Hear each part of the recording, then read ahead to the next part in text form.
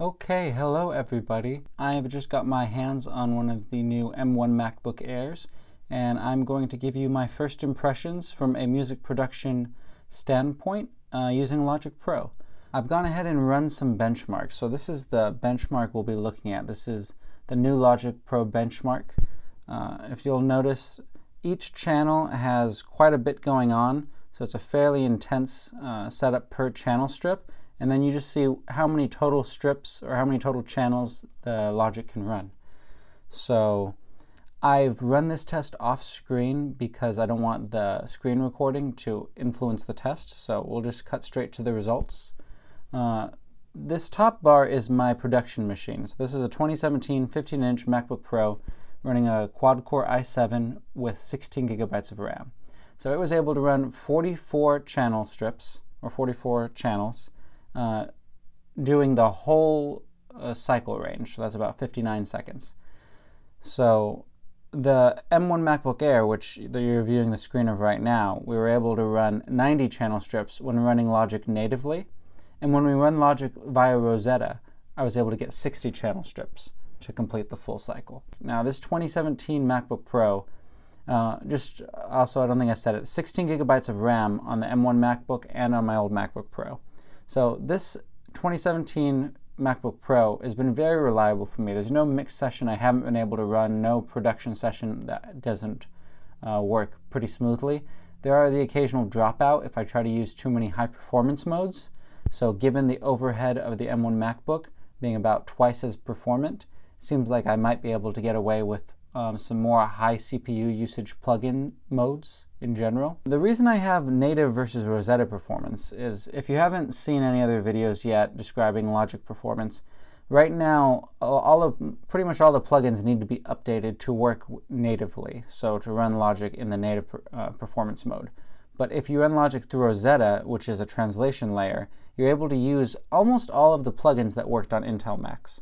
So I think it's interesting that we can still get more performance on the Rosetta mode logic on this MacBook Air than I was able to get on my 15-inch MacBook Pro over here.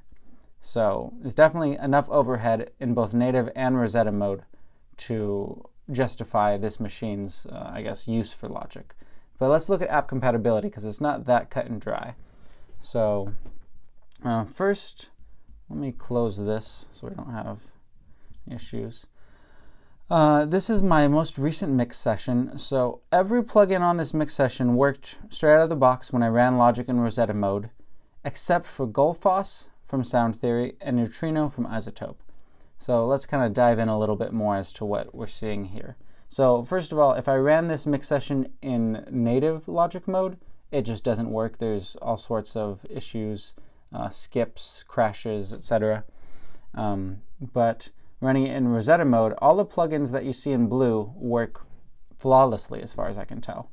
So with Gullfoss, I don't think this is a compatibility issue uh, because I read somewhere that Sound Theory has said Gullfoss should work in emulation or in Rosetta mode. Um, so I think I'm having some kind of issue. I know that uh, when I check my plugin manager, Gullfoss is being validated by Logic, so it's saying it can use it. Um, I've had no problems with iLok. iLok was able to register Gullfoss to this machine. So I've sent an email to Sound Theory. I'll get back to you guys on what's up with this once I know. Uh, with Neutrino, I think this is a 32-bit app, and 32-bit apps just aren't supported anymore. Um, as of Catalina, but for sure on all M1 Macs.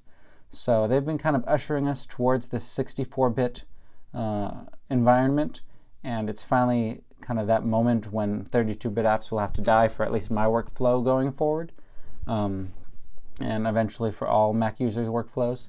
Now, this plugin isn't crucial to my mixes, although any finished mix, obviously, I won't be able to open and export it properly on this new machine because I can't use this app on this machine. This is just, it was a freebie from iZotope a few years ago. It's kind of a, like an intelligent spectral shaper, so you throw it on a bunch of buses and kind of just get you know, that 2% extra kind of gloss or sheen on the mix. So I usually put it on around halfway through the mix and then just kind of mix into it for the rest of the mix. Um, not a big deal. I wish it had been 64-bit so I could have just kept using it in Rosetta for a little while longer, but that's the way it goes. Now, Goodhertz plugins through Rosetta, all of them are working fine. So if I just kind of play this and we can see, um, yeah, the GUI works just normally. Uh, the sound quality is perfect. If we see our CPU usage, this is for the whole mix. We're hovering, you know, 25% for a couple of the cores, and then around, it looks like 12 to 13%, 10 to 15% maybe for the rest of the cores. So the performance is excellent, a lot of overhead, and this is a full mix session. Um, now, Goodhertz plugins are working. It seems like my FabFilter plugins are working just fine as well. So, uh, Klanghelm plugins are working. And the only other plugins I'm using, oh, System Overload.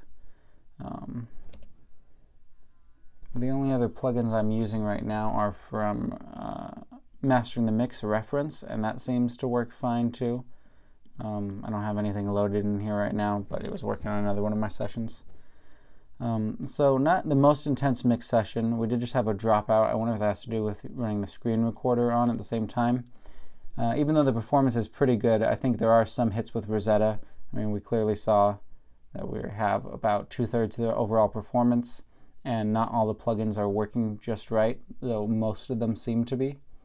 Um, I will be running more tests to uh, check out uh, various app compatibilities, and as apps get or plugins get updated, what works natively and what still requires Rosetta or what doesn't even work in Rosetta. Uh, the only other plugin, to my knowledge, right now that doesn't work for sure are native instrument plugins, uh, and that doesn't. I think I think it doesn't have anything to do with compatibility, but with the uh, installer app.